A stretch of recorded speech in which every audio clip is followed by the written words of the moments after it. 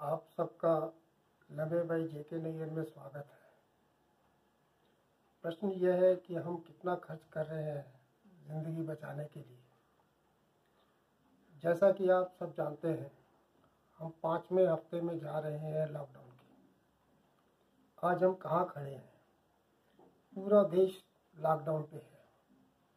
खतरनाक Covid nineteen virus के लिए। भारत का लॉकडाउन दुनिया में सबसे मुश्किल है। हम कह सकते हैं कि हमने कुछ ज़िंदगियाँ बचाई हैं इस लॉकडाउन के दौरान।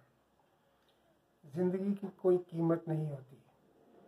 हम भारतीयों ने कभी भी ज़िंदगी को इतना महत्व नहीं दिया। कोविड नाइन्टीन के अलावा।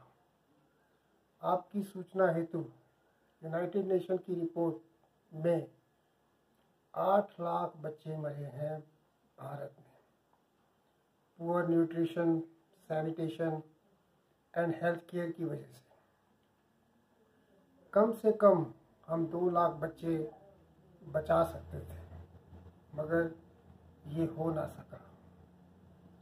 अभी कुछ समय पहले गोरखपुर में ऑक्सीजन सप्लायर को 60 लाख रुपया नहीं देने के कारण ऑक्सीजन कट कर दी गई और 30 बच्चे मर गए। ये लगभग दो लाख रुपया प्रति बच्चा हुआ। हम एक अच्छी व्यवस्था क्यों नहीं कर पाए?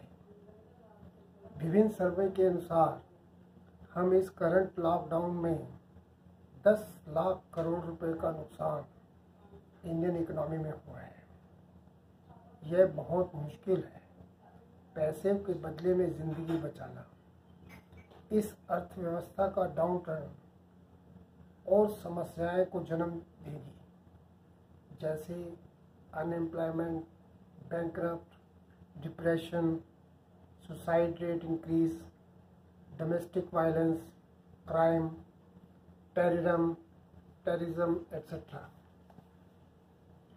हम विश्व मानचित्र में एक जिम्मेदार नेशन है।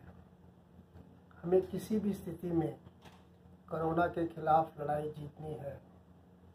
लेकिन हम अर्थव्यवस्था को भी इग्नोर नहीं कर सकते। हमें इसके खिलाफ भी योजनाबद्ध तरीके से लड़ाई लड़नी पड़ेगी। हमारे पास कुशल नेतृत्व है।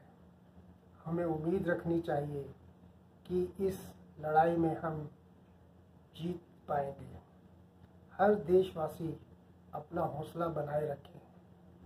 हम ज़रूर कामयाब होंगे। भारत माता की जय।